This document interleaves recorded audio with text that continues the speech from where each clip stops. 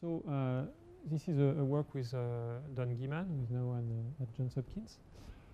Uh, basically, it's an extension of something we have been doing for years, which was uh, initially on face detection, and now we try to extend this to more complex uh, objects. So during my, I did my PhD with Don Geman, he was my advisor, and we designed a new face detector, which was based on an idea of hier hierarchical decomposition of a pose space. So this is typically, so I don't know how familiar you are with uh, object detection in general and face detection more specifically, but the idea of object detection is you want to design an algorithm that uh, if you give it a scene, so an image uh, where an object is visible or one instance or a few instances of the subject, at the end you would get as an out output uh, locations of all the instances of the object. So for faces, you would expect to get usually uh, a location on the scale, uh, telling you where, where it is for every face. So in that case, we were going a bit further because we were able to estimate more accurately the more accurately the location of the face. So more precisely for this algorithm, the output for every face would be the location of the eyes. And here I just display a small triangle uh, to show roughly where it is, but it's not an estimate of the location of the mouse, it's just the two eyes. So uh, the usual way of doing object detection consists of parsing the scene, so going through every location on every scale, and at every location on every scale to have a black box machine learning uh, able to answer the question, is the object there or not, okay? So you have this kind of algorithmic loop, which is outside, that goes through locations on, on, on scale, and for every single location on scale, you, you ask your machine learning thing, is there a face, is there a face, is there a face, is there a face? So you have this external loop going through uh, scale, and for every scale going through locations. Okay.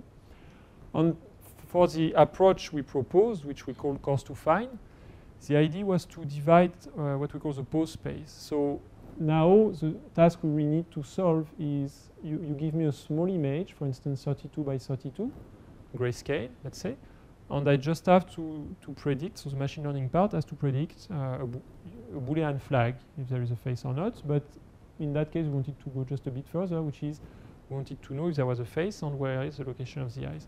So the approach we proposed was to, to build a sequence of a hierarchical uh, family of classifiers. So here you, this ellipse stands for the what we call the pose space. So in that case, the pose is just location of the center between the eyes, so this point, the tilt, so the, the angle between the vertical going through the face and the vertical in the image, on the scale, which is the distance between the eyes. So the pose is the set of those four parameters. And here, this stands for the all the pose we want to catch in this small image. So we, we let the center of the eyes float into a small box, an 8 by 8 box, the tilt be to be between minus 20 and plus 20 degree, and the scale to be between 8 and 16 pixels. And here you see the dispersion. Here I sample at random uniformly in this pose space poses, and I just display, display the eyes on mouse location. And as you see, it's pretty uh, spread. But so we build a classifier which is supposed to say one to respond that there is something uh, as soon as there is a face, whatever its pose, which is still in, in, this ellipse. It's, it's, it's a pretty challenging task because you expect a lot of invariance from your classifier. But so we, we proposed uh, an, another idea, which is we will build this classifier with an extremely uh, conservative threshold. So it will react uh, so that it never misses a face. Of course, this detector will make a lot of false positives. But then if this guy says uh, there is a face, then we have a bunch, uh, a family of four other detectors which are dedicated to more constrained uh, poses. So now every one of these ellipses, instead of uh, being uh, the same constraint as, as before, now we force the center of the eyes to be in a small box of 4 by 4 instead of 8 by 8. So it's why we have four detectors. We are going to try, is there a face with a center here? Is there a face with a center here, etc. So here you see that it, it constrains far more the location of the eyes on the mouse. And we go, we go down like this. So we split location on scale, on tilt, etc. But so the, the, global idea is that we have this pose space where the, the pose can be, can be anywhere.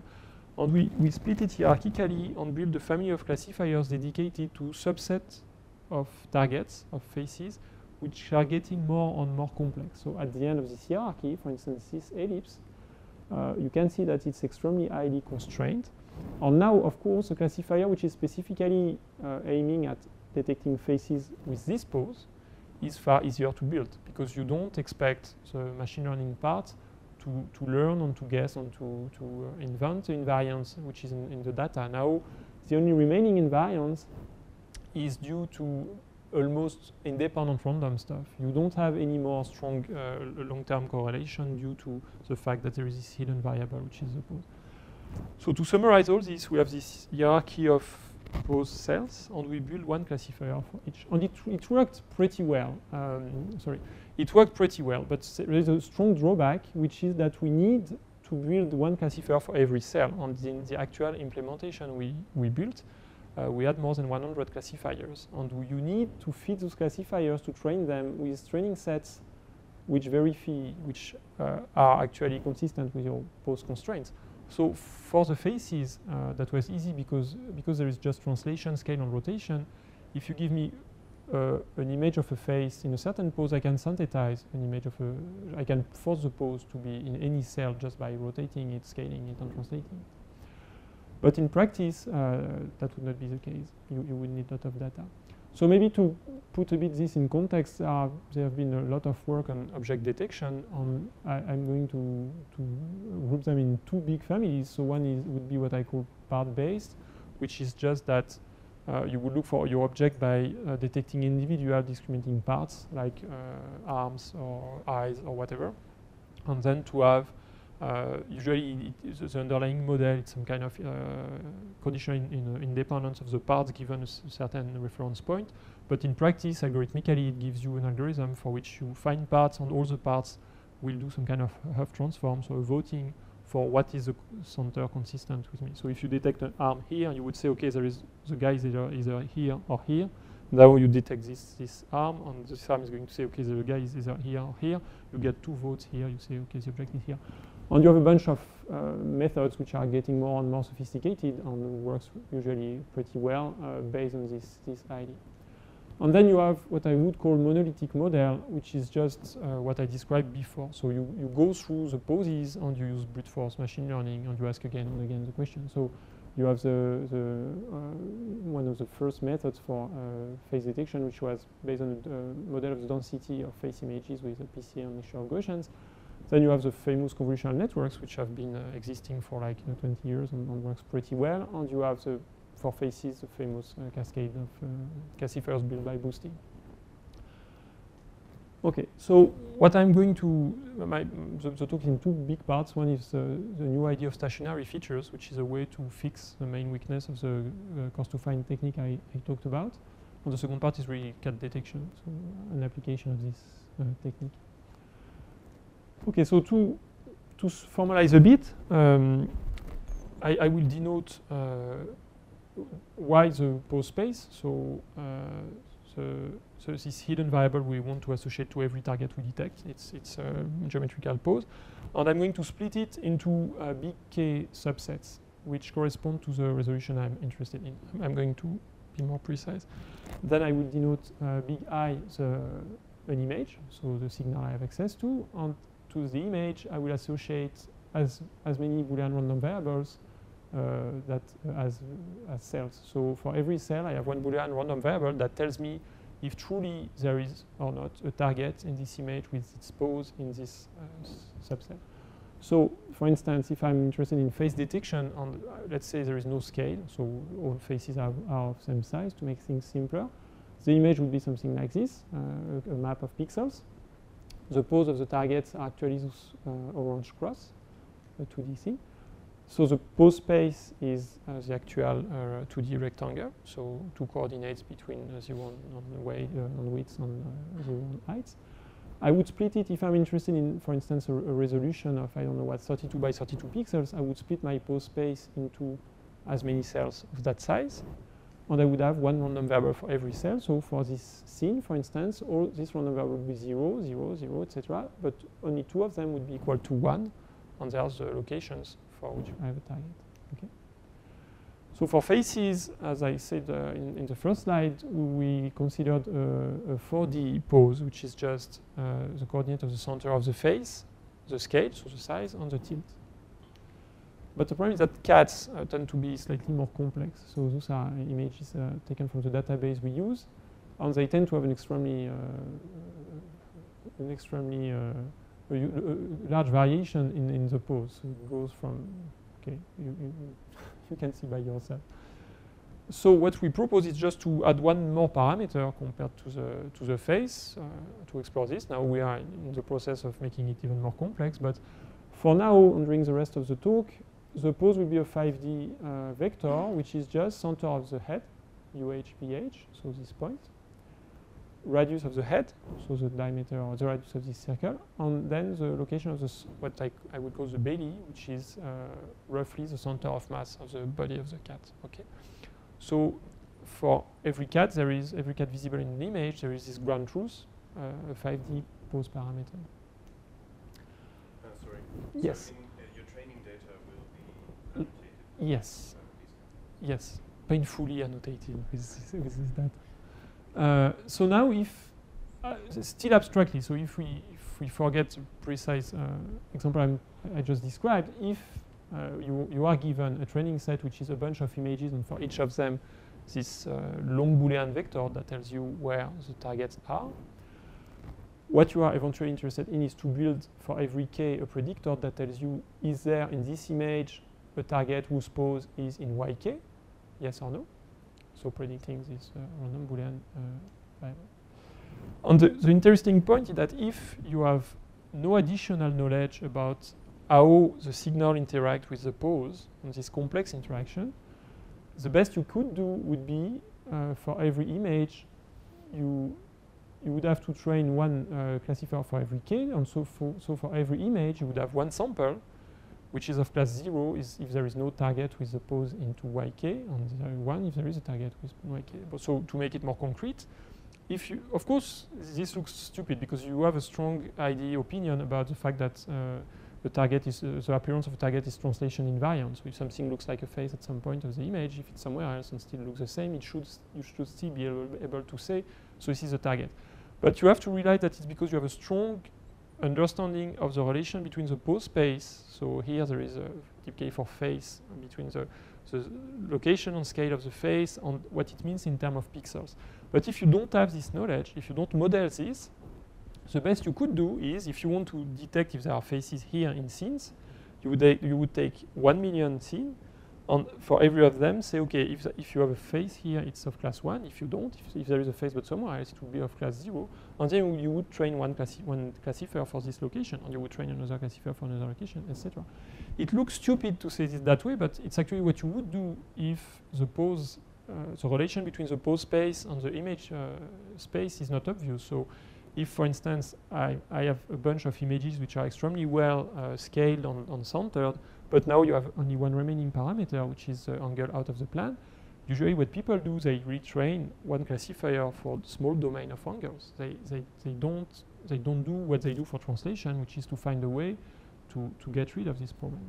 So in practice, if you have k pose cells and you have no idea of the relation between the signal and the, and the pose, what you can only do is basically to have one sample for every scene and you divide the number of positive examples by the number of pose cells.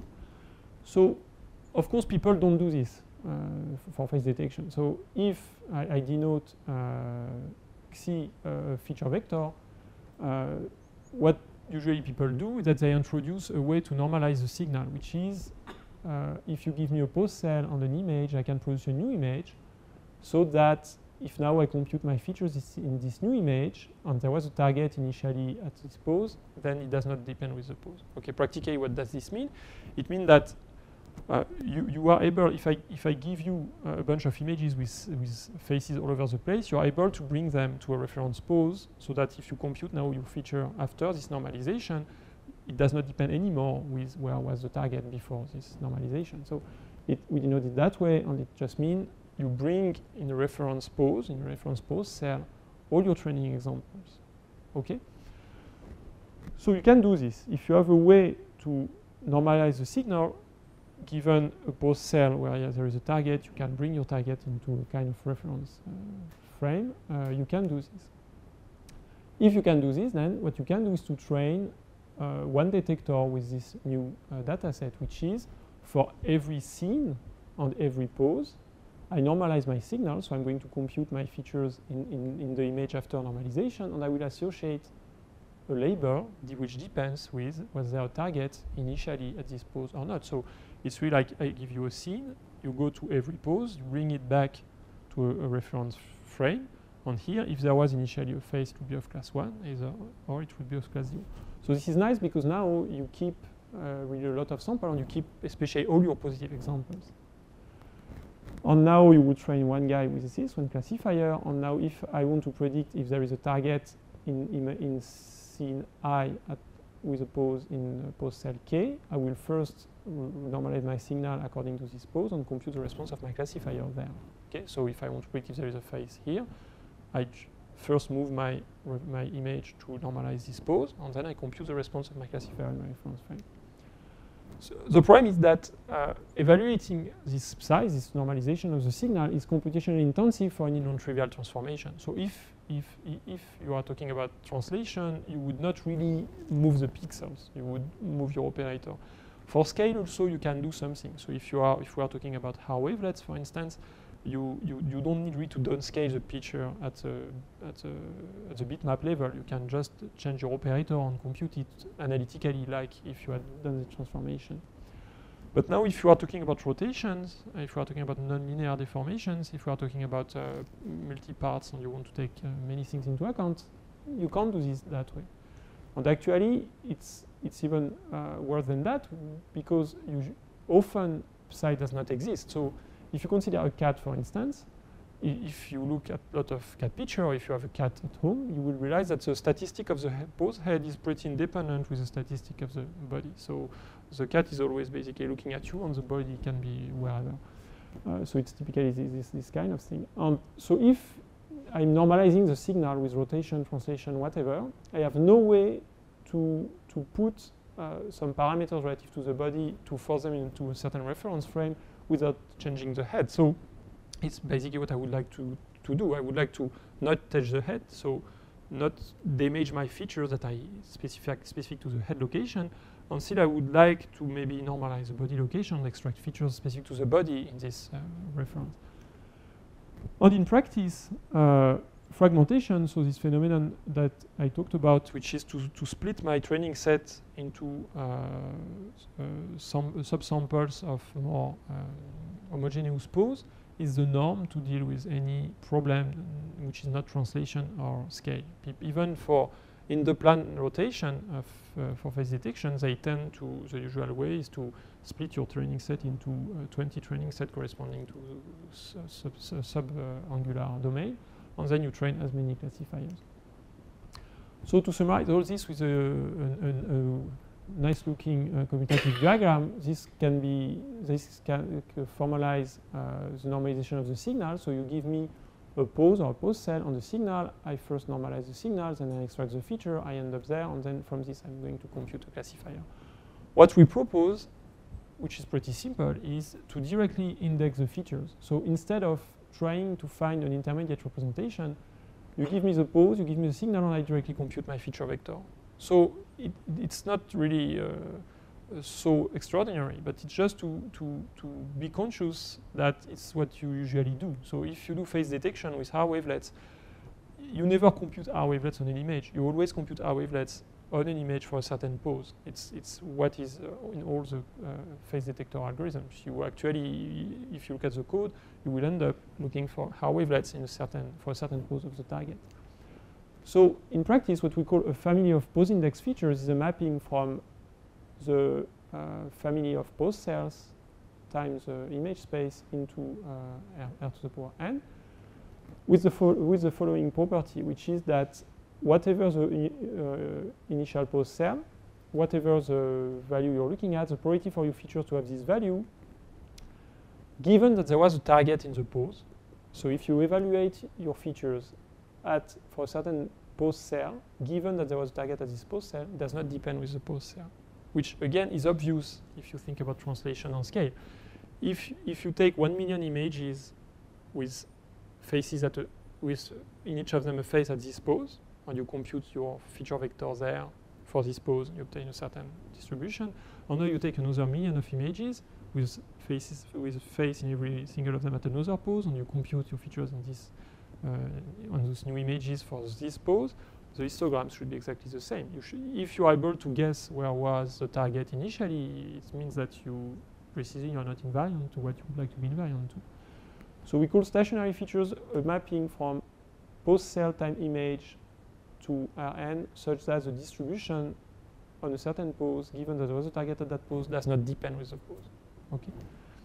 So, for instance, if my objects were uh, pairs of scissors, the pose could be, for instance, those six, six, points, so the tips on the center. And if I index the, way, where the location where on the scale where I'm going to extract my, for instance, a, linear response with, those, with this pose, so that when it moves around, I'm going to scale, rotate, translate according to the pose, it's obvious that if I give you the response of the filter, which is adapted the way I just said on those three locations, you have no way to bring back the poses where uh, they were evaluated because I precisely designed the pose index features so that it's not the case. Another example of pose index features, which uh, is more formal but may help to understand exactly what we mean. Imagine that I built a, a synthetic 1D signal, which is a pose. So my 1D signal would be of dimension uh, 32. My, the hidden pose is just uh, two, two numbers, two, integer, two integers, uh, which uh, are so theta 1, theta 2, theta 1 strictly smaller than theta 2.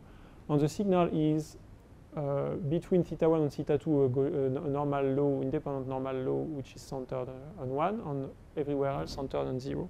And imagine that now uh, I say that my pose index features, if you give me the pose on the, on the signal, is going to be this 4D vector, which is the value of the signal just before theta 1, the value of the signal at theta 1, the value of the signal at theta 2, and the value of the signal just after theta 2.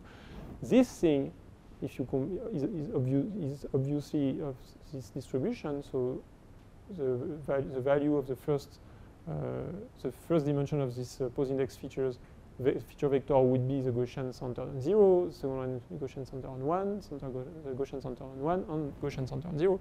This thing does not depend with the pose anymore. So it, it's, it's pretty trivial stuff. We pose index features, you evaluate it for a certain pose on a certain image, and if there was a target, it does not depend with the pose. So now, if you give me such uh, a pose index, a set of uh, pose index features, family of pose index features, now I can build the training set, which is for every scene and every pose, every pose cell, I'm going to have a sample, which is a vector of Rn, which is the response of the pose index features at that pose, uh, comma the actual uh, Boolean uh, label, which is was there a target there or not. Okay. And from this, we can learn single classifier and do the trick as for the normalization of the signal. Now, if you tell me, is there a target whose pose is in, uh, suppose cell K in image I, I'm going to first extract my pose, compute my pose index features for that pose in that signal, and then compute my classifier. Okay, so practically, uh, all this is super template uh, matching. I just, everything I said is just a way to do this heavy machine learning thing on top of features that can be dedicated on the fly to an abstract pose. Okay. And we keep in mind that all this artillery is just uh, just to, to open or the doors to more sophisticated poses than just uh, uh, scale location on the maybe orientation. Okay, so now we apply this to, to cat detection, which was the original, motiv original motivation. So here I'm just going to describe first base features, uh, what I call base features, which, has, which are not pose indexed, which are basic signal processing, and then I will show how we, we uh, parameterize them with the pose to have, to some extent, the property of uh, invariance I was talking about. So the first thing we do is to extract at every point uh, eight different edge detectors. So we use extremely crude edge detectors. We, for instance, we would say that there is an horizontal edge at this point, so the, the, big dot, if the difference between the two pixels which are connected by the thick line is greater than the, the six others.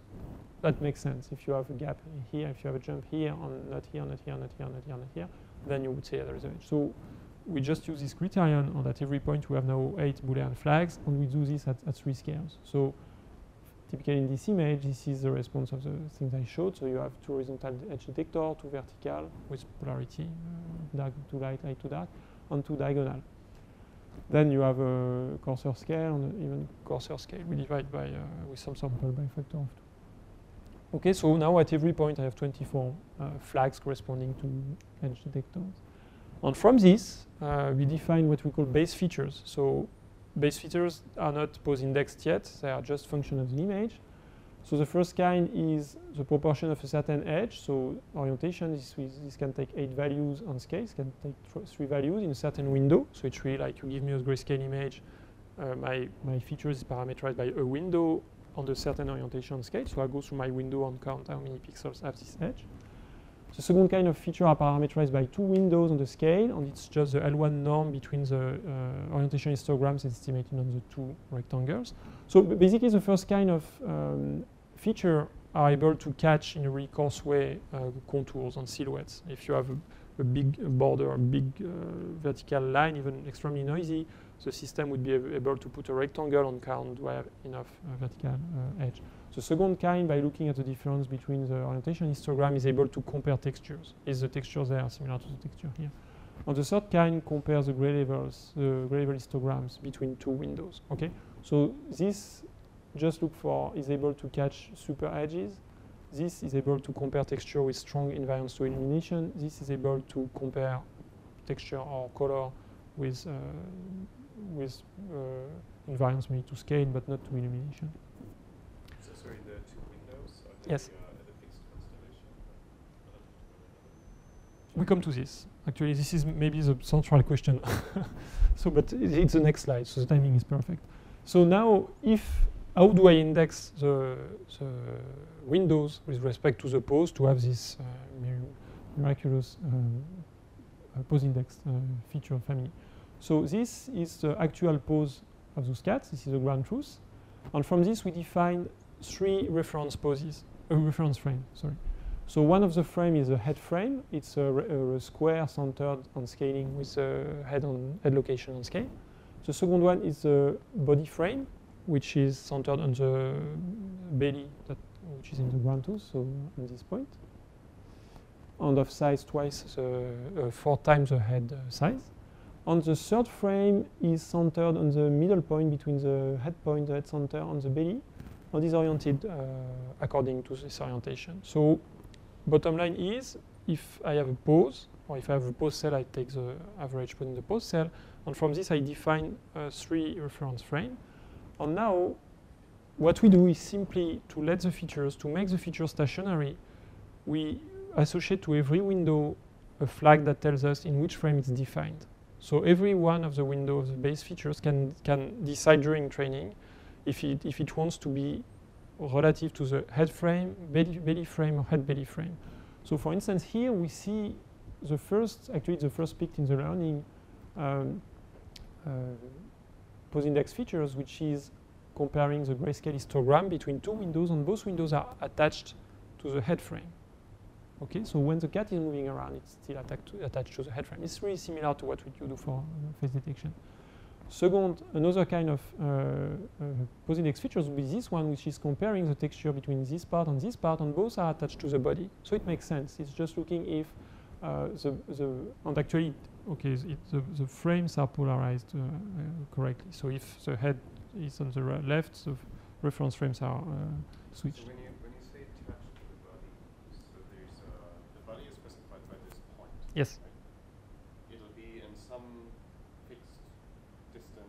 window.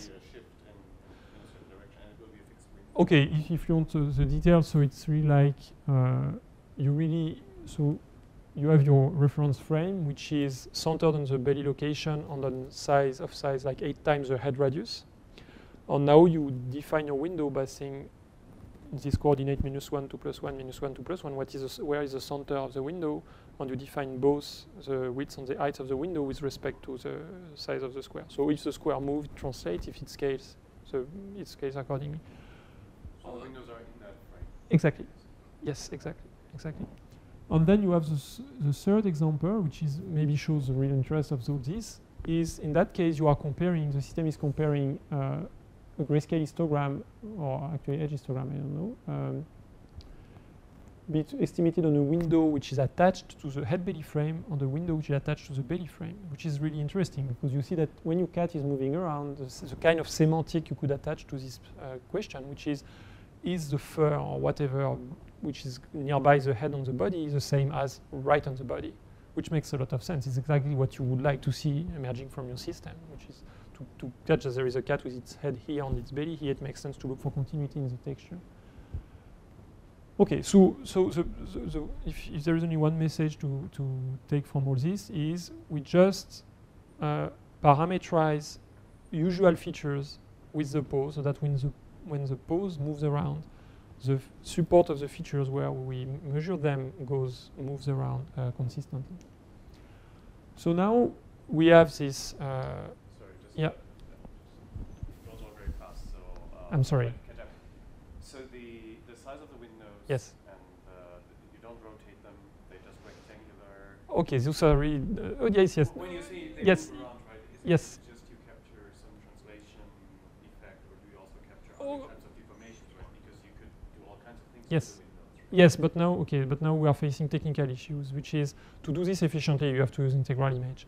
To use integral image, you have to have only rectangles. So re- rotated rectangle is not a rectangle anymore. So here we have. Machinery using the end is more the Viola Jones type of uh, integral image. Well, I- it's it's it's not Haar wavelet, so it's integral image to compute uh, to compute histograms. But uh, so to minimize the effect of not rotating them, when they are uh, in a reference frame that can rotate, we force them to be square. Right. Why, S- for instance, why aren't they circles? Because this I don't I have no way to compute this efficiently. Okay. So, so this becomes more a practical Yes, yes. Uh, issue. Yes, yes, yes. But what we do actually, and that may be of importance, is that we also let the learning decide if the edge detectors themselves have to be rotated. So if uh, a, a feature is attached to the head belly frame, the system can decide, okay, and I want the edge detector to rotate. So the quantification in 8 would go around with uh, Um, so, so you get you capture the rotation effect. It's only the support is kind of rectangular. But we force it to be, if it can rotate, if it should rotate, if we, if computationally we had way to rotate it and we can't, we force it to be square because a rotated square is closest to a square than a rotated rectangle is, close to a rectangle. Uh, okay, so uh, now we have so the, now we have this way uh, we have this bunch of features uh, that we can evaluate on the pose, and we have this training uh, set which is scenes with pose and labels, and we train so. What is interesting is now the, the, the, this G classifier G has no idea for this mess. It's just a usual uh, classifier that takes this vector of responses from the pi features and just predict uh, a value. So what we do is to do, we, we are pretty heavy here, so we do, uh, and okay, and we put all this uh, in the in the framework of coarse to fine. So we have, we first uh, constrain the, the head pose and then we constrain the body pose. I will come back to this later. But basically the classifier we use have 2,500 stumps, so it's a usual thresholding of uh, features that we train with, uh, okay, I should not say vanilla AdaBoost, but AdaBoost. And we introduce two things uh, which may help, which is that instead of doing the cascade stuff a la Viola Jones, which is, I it seems, I think, pretty hard to tune because you have to choose how many weak learners in every level, what are those thresholds, and, and it's pretty complex. We just uh, substitute these to, we, we do usual boosting. So I I don't know if you are familiar with the cascade thing, but the idea is to do bootstrapping. So you, you build the first classifier, uh, and then you, you are going to build the next stage by just taking the false positive that goes through the first level. And it's a way to concentrate your classifier more and more on the difficult popula- negative population. So in your image space, you have your small positive population, uh, a lot of uh, negative examples on the negative population. And the really tricky ones are the ones which are close to your positive uh, population. And in practice, if you sample, you never catch them. So you train the first classifier, then you take the false positive of this first to build the second, etc., etc. And what is uh, unpleasant in this scheme is that it's basically doing what boosting is supposed to do, which is to focus on the difficult example. So in that case, uh, we avoid the cascade by doing boosting to handle it, to be able to handle 1 million negative examples, what we do is weighting by sampling, which uh, is extremely efficient computationally. So every one, to give technical details, every 100 steps of boosting, we resample 10,000 negative examples according to the boosting weight. So we keep the response of the classifier up to date on 1 million negative examples. But when we pick a weak learner, we based our choice only on 10,000 negative examples, which are sampled among the 1 million. And we But- also, but to be fair, I just want Yes, yes, yes. The, the cascaded uh, Viola Jones, um, of course, one advantage is that, that if you run it, then if you've trained it ultimately, right, that it's fast in terms of the features that yes, okay, so exactly. Yes, yes, yes, yes. uh, Yes, yes, exactly. So we, we address this also. The, yeah, but but you agree those are two. Uh, and I want I do not want to sound like I'm. I'm uh, yes, yes, yes, yes. No, no. And I uh, I think all the, the the core ingredients are in the cascade. We are just like. Uh, but uh, so for the computational part, we we put a threshold every 100 stumps. But so in, in we keep the response, and I think also it makes like, a bit more sense instead of having classifiers that don't talk to each other. We just have it's like we have a, a one classifier with 2,500 stumps, but now we choose one threshold every 100 stumps so that the overall error, error rate is uh, our target error rate. And when we have the cascade effect, basically we stop on, on easy rejected uh, examples, we stop early. And so for the experiment I'm going to show, we have a total of 2,300 scenes containing one, uh, 1,700 cats, and we use 75% for training. So we do 10 rounds of cross-validation to have uh, kind of uh, significant results, and uh, we use actually 50% to choose a weak learner, 25 to pick the threshold, and then 25 to test. Okay, we have a, a, a bunch of experiments that I am not going to detail here that just show, because we wanted to motivate really and to, to to back up a bit our claims about this uh, the pro- problem of doing full exploration without the coarse to fine or to uh, to to fragment the data. We can show extremely easily that if you don't um, if you fragment your data, so if you build a bunch of classifiers dedicated to subpopulations, uh, it's it's terrible. It does not work. And if you do it uh, naively, brute force, without a, a cost uh, a coarse to fine structure, it's also intractable. Okay, so the message is that stationary features avoid fragmentation as much as possible. So as long as uh, if you're able to design features, so if, if it makes sense to put the samples together, which means that there is a way to get rid of the pose, there is a way to normalize uh, feature response with respect to the pose, it's the best you can do. Um, you so it, it, limit, it limitates the fragmentation as much as possible. And then second point, so this deals with the fragmentation. And the second point for the for the uh, computational cost of the exploration is the hierarchical search concentrates computation it is needed, and even uh, even more than Cascade in that case because you can really, uh, if you wanted to have accuracy for the pose, and if you wanted to do this with Cascade, then you have a problem because you, you at the end you will end up doing hierarchical things. Okay, and we call the resulting approach a folded hierarchy of classifiers. Why? Because during training, it's like we are folding all the, if you remember this, this hierarchy, the scheme of the hierarchy, all the cells of a certain level are bring together and then you train one classifier for this. And during test, if I want to pass a scene, I do the opposite. Now I'm going to kind of virtually have one classifier. I expand my classifiers analytically, uh, one for every cell. So to connect with the coarse to fine, we use here simply a two-level hierarchy. With uh, you have a first level that so our pose space is 5D with three dimensions for the head, two dimensions for the body. And what we do in the first level of the hierarchy, the cells are tiny cells for the head. So the, we explore the scales with interval with 15 intervals between 25 radius 25 to radius 200. And for every interval on the scale, we split the scene into we split the location into small pieces. So in the first level of the hierarchy, a pose cell is a small pose for the head times the full space for the body.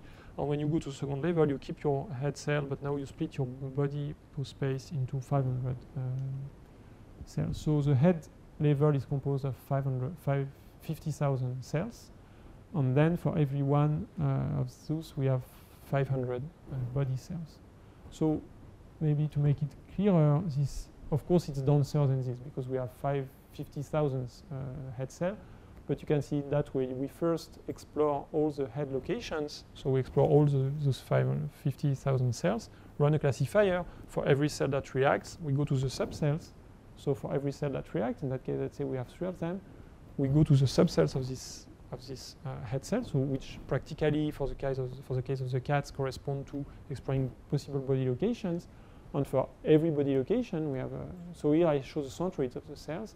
For every body location, we run again a second level classifier. Okay. So for the results to estimate error rates, we have to define uh, error criterion. So if the true cell is the black one, so this, this, this guy, we would say that an estimated cell is an estimated pose is correct if the estimated head location is at less than the head radius from the true head location. And if the estimated body location is at less than twice the head radius from the true body location. So this would be counted as correct, this would be counted as incorrect, incorrect, and incorrect. This is pretty demanding because uh, often, even visually, you would think that the detection is correct, and actually the system would count it as uh, incorrect. Want to have a, so, a, kind, uh, a, kind, of a baseline to at least see what the really the pose index features uh, bring in the story, uh, because we have all this artillery with uh, with a lot of weak learners and boosting and things. We propose uh, a baseline which is composed also of two levels, so still the coarse to fine approach, but instead of letting the, the second level use pose index features that can look at the head, uh, they can only look at the bodies, which means uh, this detector formally corresponds to first running a head detector, then running a body detector, and every time there is a, a co-occurrence between the hit, we would say, okay, there is a cat there. On the so th we call this H plus B because we have head detector plus a body detector. And then we have uh, really the HB, which is our stuff. So it's the same, but now the second level can really exp exploit the, the full uh, interest of having this joint pose between the head and the body.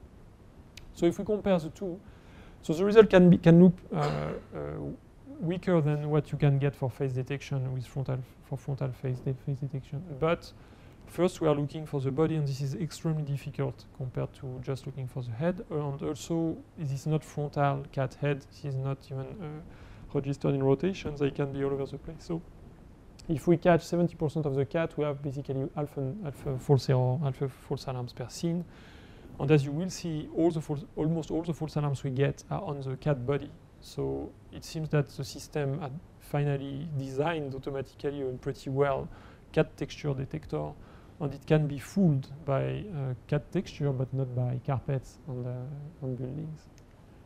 So if we compare the performance, so this is the uh, average number of false alarms per scene on a log scale. This is the true positive rate with the criterion described. that you can see, basically the pose index features divide the false alarm by three at, a, at any true.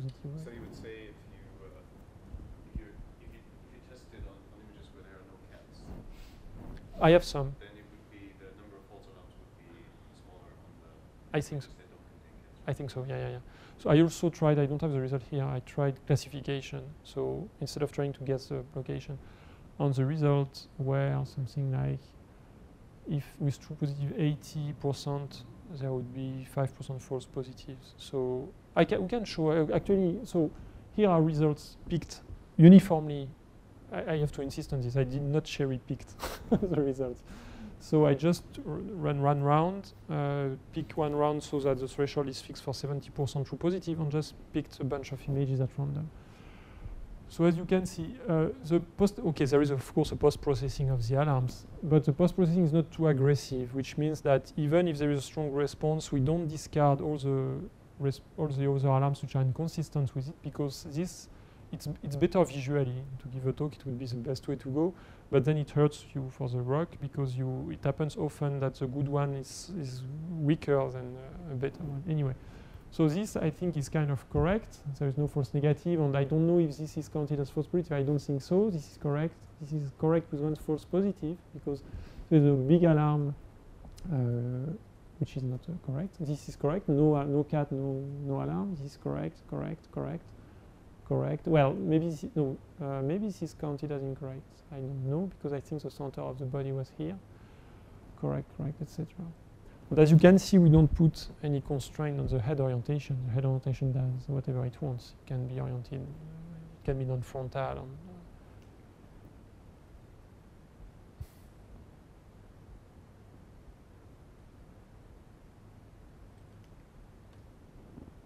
And as you can see, when you have images empty images, even difficult ones because I don't know if you have ever done face detection, but this kind of images or this kind of uh, this kind of images is really difficult for uh, object detectors because you have plenty of edges, so it's extremely easy to have false positive. Okay, so uh, conclusion. The, what I just showed uh, can be seen as a super template matching, which is we we are exploring um, exhaustively in some sense the pose space and for every possible pose we are asking the system is the target there And it's super template matching in the sense that the, the way we organize it allows us to do it quickly because of the coarse to fine organization of the computation and allows us to bring the, the machine learning methods of choice. We could do this with SVMs, decision trees, whatever, uh, because at some point we have a feature vector and we just have to make prediction from this. So it has the benefits of template matching, black box machine learning, and hierarchical search. However, this is achieved at the expense of annotating the training samples with ground truths. We are not doing this in a totally automatic way. Uh, so now we are thinking about uh, either using some EM procedure, but more specifically, I'm working with a student who is trying to do this from uh, videos. So we, we would have a fixed background, show an object, and try to guess automatically both the pose space and the annotation of the image. And also, you have to design the pose index features, which is which may be an engineering challenge. But I, I tend to believe that this is far easier than uh, designing real invariants. There, there is a really uh, it's it, it's pretty difficult if I tell you, okay, I would like you to measure something on this image, so that if the image move around, your the response remains the same and still is informative. It's not like a constant stuff. This is far more difficult than I'm, i want to design a piece of algorithm so that if there is a target at the pose, I know the pose of the target. I just need to build something where when I measure the thing on the target and I know where it is, then the response is consistent. This is far easier to do. So this, because there is this marginalization that you, this sum over some hidden state that you must have when you build an invariant, you don't have to take care uh, at this level. It's, it's taken care of at the level of the big hierarchy. So this exploration of the hidden, uh, hidden value. Okay, so the references, we have a paper, a JMLR paper uh, coming out soon. So we sent the camera ID like one month on, one month and a half ago, so it should uh, be there. And everything I showed, so all the code and uh, all the data are available uh, on this website. So the code is under GPL3 and okay, it's pretty heavy because each round takes something like two days and a half on a powerful PC, and we need 20 rounds to plot the ROC curve I showed. But you just have to run one script, and you are at Google, so you are not afraid of having computers. And you just run one script, and everything should run uh, without a glitch. So please, if you're interested, only if there is problem, send me a feedback. I would be than interested. And uh, okay, I would like to thank the people from Rate My Kitten. So this is a website where people can submit cat images or rate other people cat cuteness. And those, those guys gave us uh, 120,000 uh, cat images. So we have uh, plenty of data to, to work on. Okay, thanks for your attention.